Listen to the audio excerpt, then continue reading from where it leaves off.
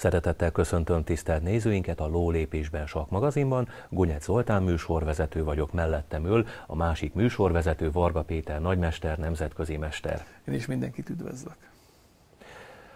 Az idei év nyarát, augusztusát élvezzük, már amennyiben ezt a rendkívüli forróságot lehet élvezni, ugyanakkor kutathatjuk, hogy a saktáblán is forró ütközeteknek, forró hangulatú csatáknak lehetünk-e a szemtanúi.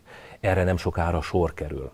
A Szabolcs-Szatmár Bereg megyei Sakszövetség idén 36. alkalommal rendezi meg a Nyírségi Torna nemzetközi sakversenyt, tehát 1982-től minden évben, és az idén ö, kiválóbb körülmények között, tehát megújulva, rendkívül kedvező időszakban, kísérő rendezvényekkel, ha szabad úgy fogalmaznom, és feltételek mellett. A Szabolcs-Szatmár Bereg megyei Sakszövetség 1982-t megelőzően úgynevezett vegyes mesterversenyeket szervezett, ahová az ország különböző jóhírű mestereit hívta meg, és egyúttal lehetőséget adott a megyénk mestereinek, illetve mesterjelöltjeinek, hogy ezeken a versenyeken részt vegyenek. Ez egy ilyen meghívásos jellegű verseny volt ez a vegyes mesterverseny és aki ott meghatározott normát, kvótát teljesített, elérhette a mesteri címet.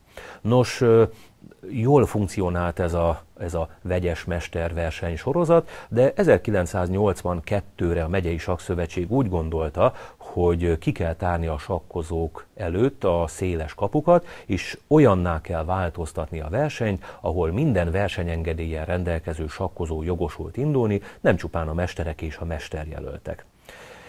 Ez a verseny az addigi 10-15 fős mesterjelölti vegyes mester versenyből egy 100 fős nyílt nemzetközi versenyé változott. Ez volt 1982-ben az első nyírségi torna nemzetközi sakverseny, ahol különböző csoportokban mérkőzhettek meg egymással a sakkozók.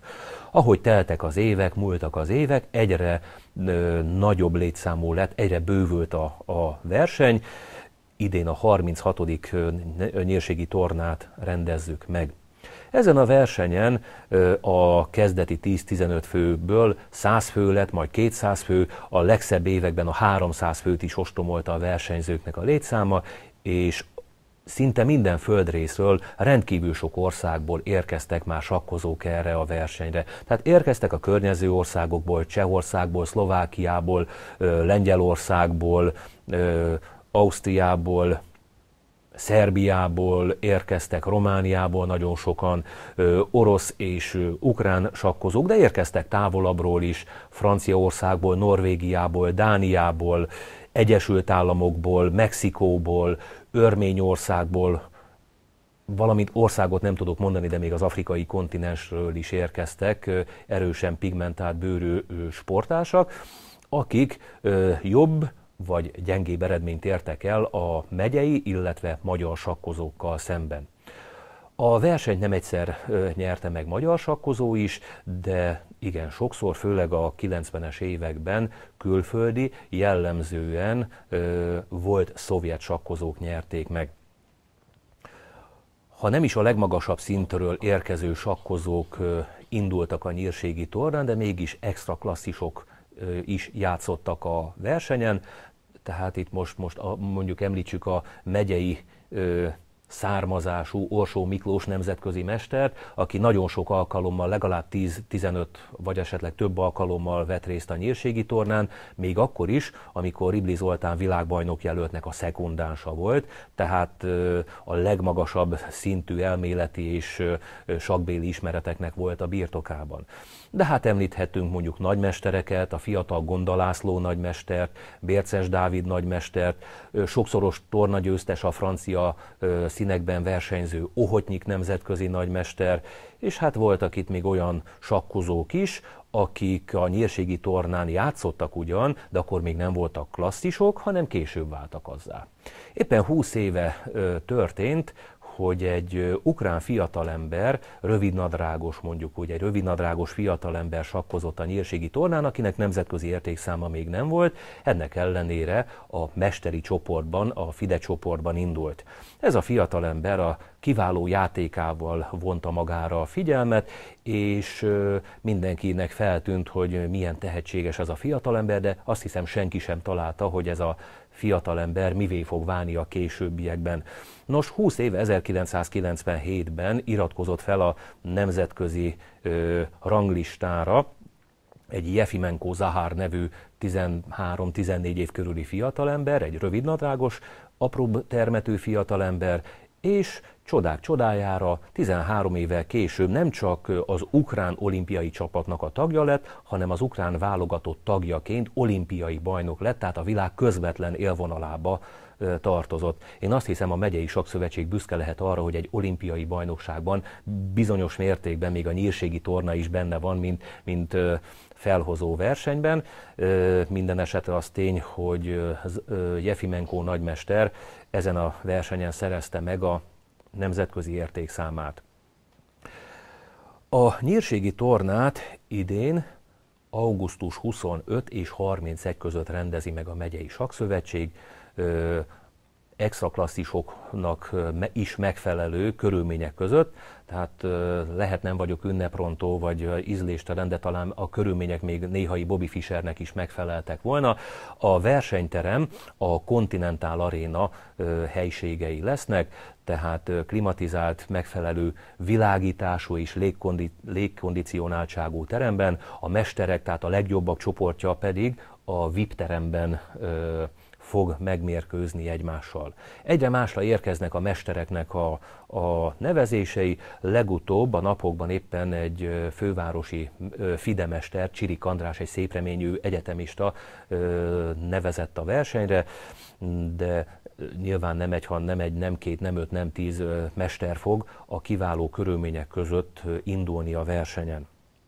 A versenynek hát hadd legyek pátos a sakk iránt, és kisebb csúsztatást alkalmazok. Kísérő rendezvénye lesz a Vidor Fesztivál, valójában ugye a, a Nyírségi Torna sakverseny a Vidor Fesztiválnak a kísérő rendezvénye mondhatni, de mi elfogult sakkozók mondhatjuk, hogy mellékesen ott van a, a sakverseny mellett a Vidor Fesztivál is. A sakkozók délelőtt 9 órakor kezdik a partijaikat, a partik déltájban, illetve dél, délutáni órákban befejeződnek, és a sakkozóknak lehetőségük lesz arra, hogy a Vidor Fesztivál nagyszerű rendezvényein kulturális élményben is részesülhessenek a sakbeli élmények mellett. Emellett a rendezőség megfeszített erővel küzd, hogy egyéb kényelmi dolgokkal is kedveskedjen a sakversenyzőknek, azokról a Facebook oldalon, illetőleg a későbbi adásokban tudunk majd beszámolni. A versenynek a legjobb partijait internetes oldalon is tudjuk majd közölni, tehát a sakkot kedvelők internetes oldalon is megtekinthetik majd a mesterek csoportjának küzdelmeit, és természetesen a versenyterem is nyitva áll majd a nézők előtt. A Kelet-Magyarország hasábjain mindig beszoktunk számolni a versenyen történtekről, és beszámolunk arról, hogy hány órától ketyegnek a sakkórák. Bátorítunk minden sakkozni szeretőt, sakk iránt érdeklődőt, jöjjenek el a versenyre, nézzék meg a sakkozók különböző csoportban folytatott küzdelmeit, a belépés ingyenes, pusztán csendben kell lenni, élvezni a sakkozóknak a partijait és a lépéseit és a táblán megvalósult ötleteit, nagyszerű élményekkel gazdagodhat minden sakkozni szerető. Bátorítjuk tehát a sakkot szeretőket, jöjjenek el, és nézői jelenlétükkel is emeljék a versenynek a, a színvonalát, illetőleg a látogatottságát.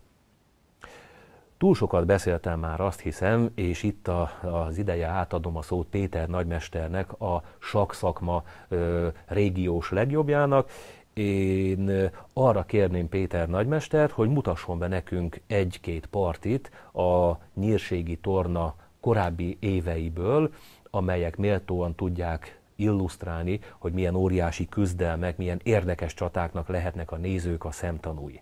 Péter, azt hiszem készültél partira a mai adásra. Mindenképp. Még előtte elmondanám, hogy azért ugye ez a verseny, a nyírségi torna azért ilyen népszerű, és azért van immár 36. éve megrendezve, mert nem csak ugye a legjobb játékosoknak ad verseny lehetőséget, ugye, amit említetted, a helyi játékosoknak is, de ami nagyon-nagyon fontos, én úgy gondolom, van egy gyerekcsoportunk is, ahova nem kell ugye versenyengedélye rendelkező játékosnak lennie ahhoz, hogy indulhasson valaki, hanem egész egyszerűen ott bárki, aki a megyében, a Nyíregyháza városában sakkozik, az elindul és egy hét, hétig kellemesen el tudja tölteni iskola előtt a, a délelőttjeit, és ugye jó sok sakpartit tud játszani. És mellette még ajándékot nyerhet, érmet, akár kupát is nyerhet.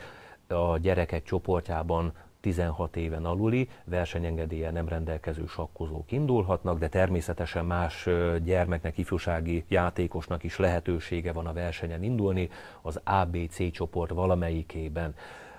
Nagymesteri kiigazítástól el kell, hogy mondjam, hogy a nyírségi torna mezőnyének legalább fele mindig ifjúsági korú sakkozó, tehát nem csupán felnőtteknek vannak a különböző csoportok, és a gyerekeket leszorítjuk a D csoportba, a legkisebb csoportba. Igen szép számmal indulnak ifjúságiak, gyerekek, fiatalok is a különböző csoportokban, mint az előbb említettem, Jefimenko Zahara, későbbi nagymester és olimpiai bajnok is, általános iskolás korában indult el a nyírségi torna mesteri csoportjában, kiváló eredményt ért el, tehát a nyírségi torna nem csupán a felnőtteknek, hanem főképpen 50%-ot meghaladó mértékben, ha a létszámot nézzük, a, a fiataloknak, a gyerekeknek, az ifjúságiaknak is a bizonyítás szintere. Igen, tehát egyértelműen ez egy nagyon fontos dolog. Még, még annyit uh, itt a partik előtt elmondanék, hogy uh, ugye felhozó versenyként vagy ugye már hagyományként, ugye augusztus 12-én lesz egy eh, rapid verseny Tiszavasváriban, és eh, ugye eh, hogy úgy fogalmazzak, idén ugye nyáron, augusztusra kerültek a sakversenyek a megyében, úgyhogy az is egy kiváló verseny, 50-60-70 fő szokott azon is elindulni, ami én úgy gondolom, hogy egy kiváló felhozó verseny is lehet.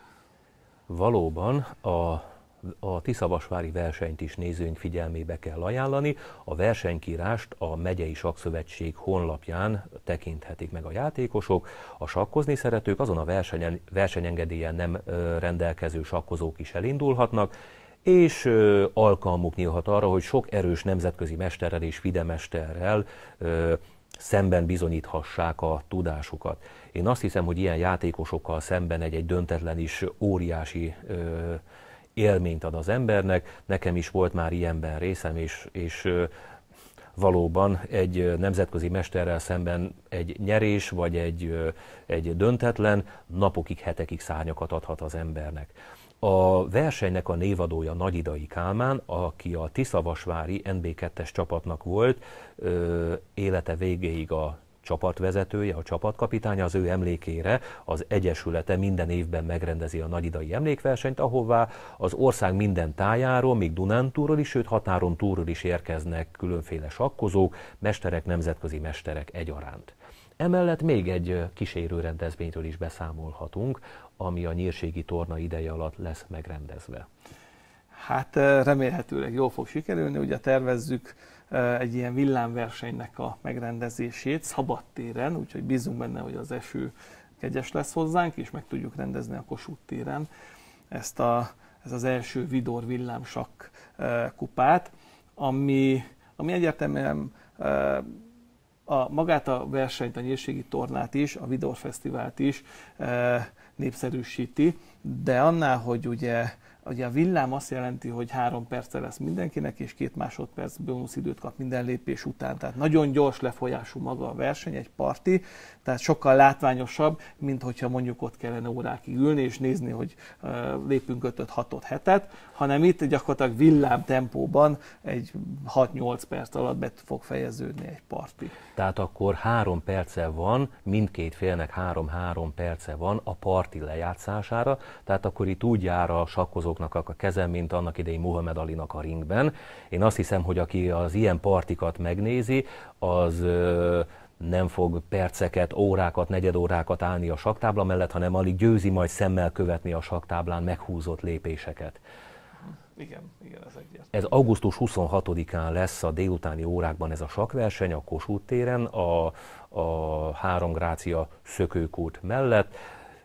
A sakkozók idegeinek lenyugtatásáról különféle koncertek is fognak gondoskodni, ami lehet, hogy kissé befolyásolja majd a koncentrációnak a mélységét, de a, a saknak a népszerűsítése és a saknak a bemutatása az emberek számára ez egy prioritást élvező tény, és ilyen rendezvényt, ilyen sakversenyt, ilyen rendhagyó körülmények közötti sakversenyt is mindenképpen meg kell rendeznünk. A versenyre a helyszűke, tehát a, a a dologi lehetőségek miatt a nevezés korlátozott, nem indulhat mindenki, 40 főnél kénytelenek leszünk meghúzni az indulóknak a listáját, tehát többen nem indulhatnak majd, azonban a nézőknek, a sakkozni bátortalanoknak lehetőségük van a verseny megtekintésére. És akkor most nézzük Péter, milyen mesterjátszmával kedveskedsz a nézőknek. Elsőként egy nagyon érdekes partit fogok mutatni, ahol ugye igazából egy nemzetközi mester ellen játszik egy ifjú titán, Bokros Albert Dovzsik Júri partit fogjuk megnézni, ahol nem a rutin győzedelmeskedett, hanem a fiatalos hív. Ezt mindenképp szeretném a nézők figyelmébe ajánlani, hogy egy gyakorlatilag 15-17 éves fiatal játékos mennyire dominált ebben a partiban. Tehát tudni kell, hogy Bokros Albert a magyar sakkozásnak egy fiatal tehetsége volt, hát most már ugye felnőtt korú, azokban az időkben, mint Péter is elmondta, egy tizenéves ifjúsági játékos volt, rendkívül magas értékszámmal, később nemzetközi mesterré lett, és a tudása is elérte a nagymesteri szintet, Juri Dovzsik pedig egy, egy, egy ukrán ö, illetőségű, rendkívül erős nemzetközi mester, aki Magyarországon is sok évig játszott az NB1-ben, meg hát ugye a világ minden táján egy elismert és megbecsült rendkívüli erejű sakkozó.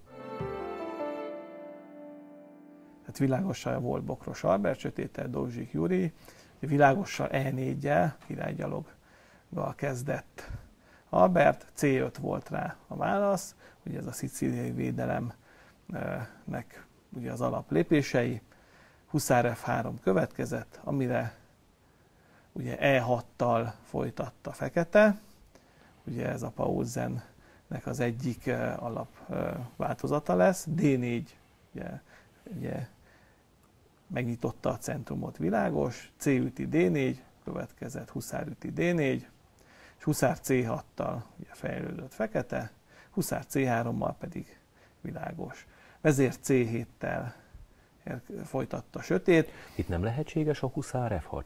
Huszár F6 is teljesen normális. Az egy másik főváltozat. Itt a lépés, nagyon sokszor ugyanaz a változat jön ki, csak lépés cserékkel. Uh-huh. Tehát, tehát a Huszár F6 is teljesen logikus, normális lépés. Ugye a 6 is szoktak lépni. Ez a vezér c az az értelme, hogy később fog jönni a Huszár F6.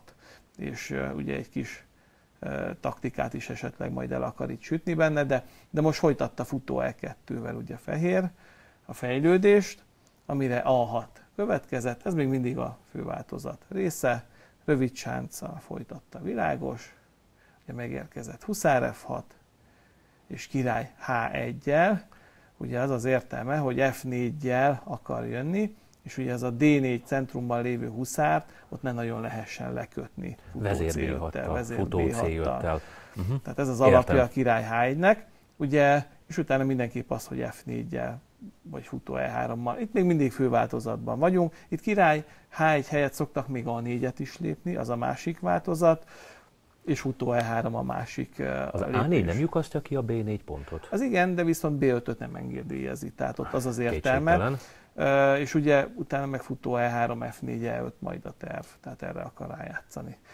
Huszárüti D4-jel folytatta, itt futó E7 D6-tal ugye a Scheveningeni változatba mehettünk, főváltozatba Igen, mehettünk volna futó. át. Ugye ez most egy picit ilyen pauzenes felépítés, ezt visszaütötte a vezérrel, amire futó C5-tel ugye tempót nyert és visszazavarta D3-ig azt a vezért, vezér D3 következett, amire jött B5. Teljesen logikus, normális, ugye fekete is fejleszti a futóját B7-re.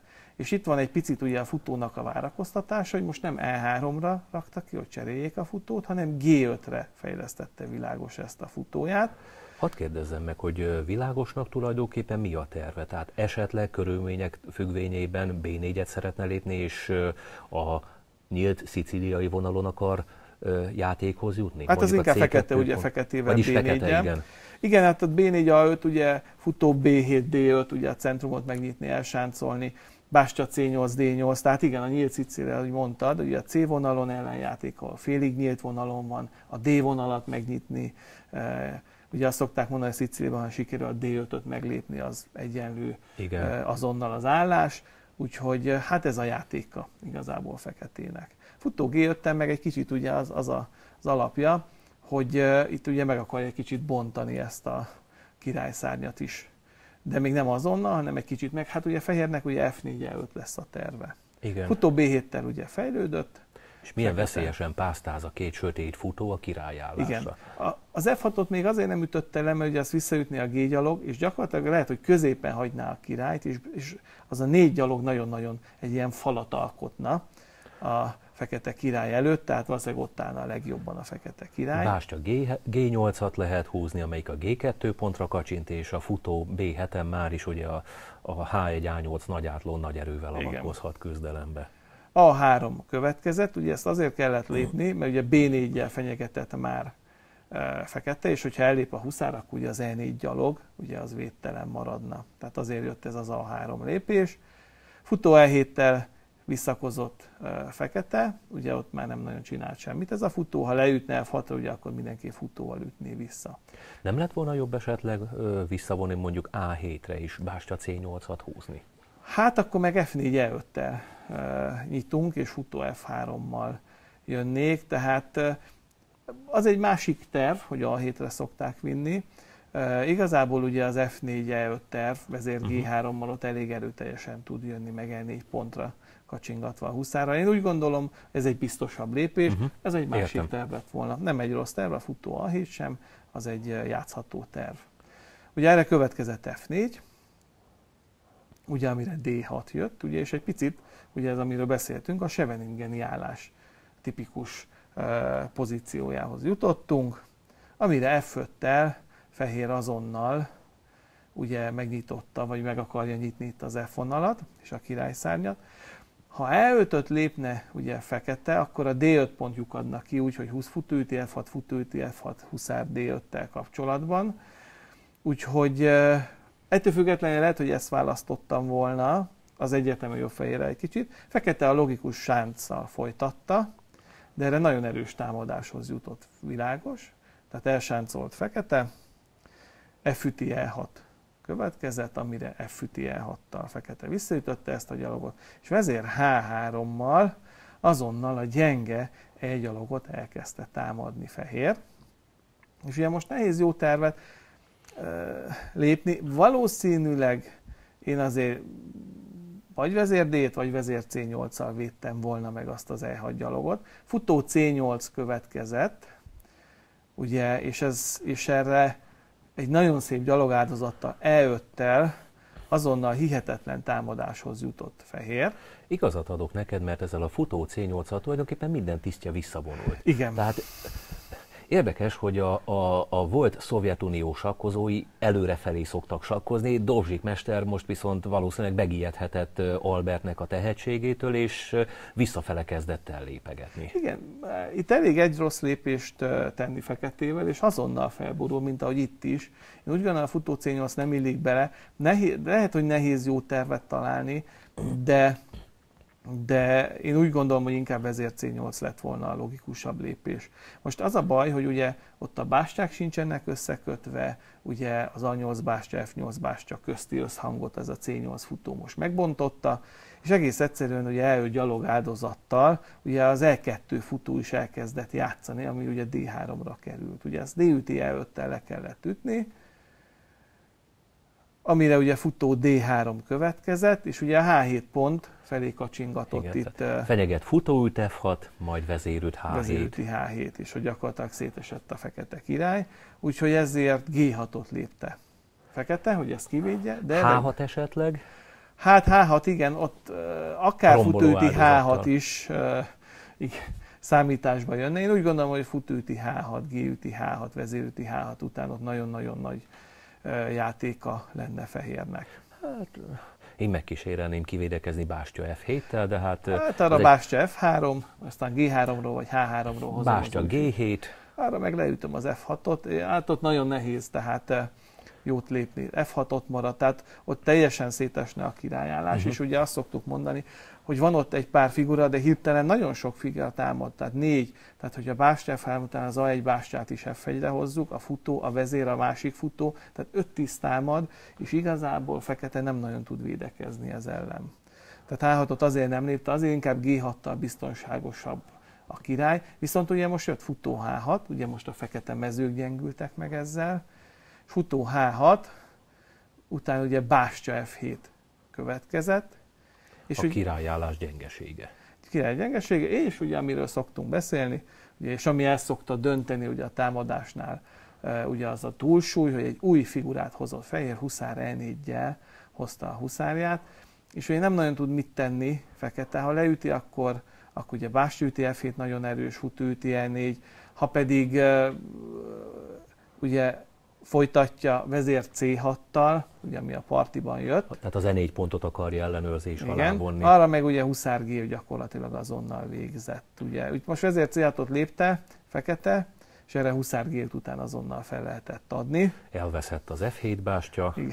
E4-en próbálkozott, de erre pedig futó üti E4 után itt kapitulált fekete. Gyakorlatilag meg kell nézni, hogy mennyire széthullott a fekete állás, és a futó C8-nak köszönhetően ugye eh, az A8 bástya C6 vezér is egy átlóra kerül, tehát itt itt nem látta értelmét tovább folytatni. Elveszett az A8 bástya is, az F7 bástya is. Én azt hiszem, hogy Dovzsik nemzetközi mestert nem szokták 22 lépésben ilyen brutálisan szétverni. Ez a magyar tehetségnek, titánnak a felkészültségét és érdemességét bizonyítja ez a parti. Egyértelműen. Tisztelt nézőink, sajnos a műsoridő végére érkeztünk, el kell, hogy búcsúzzunk. Köszönöm megtisztelő figyelmüket, viszontlátásra! Viszontlátásra!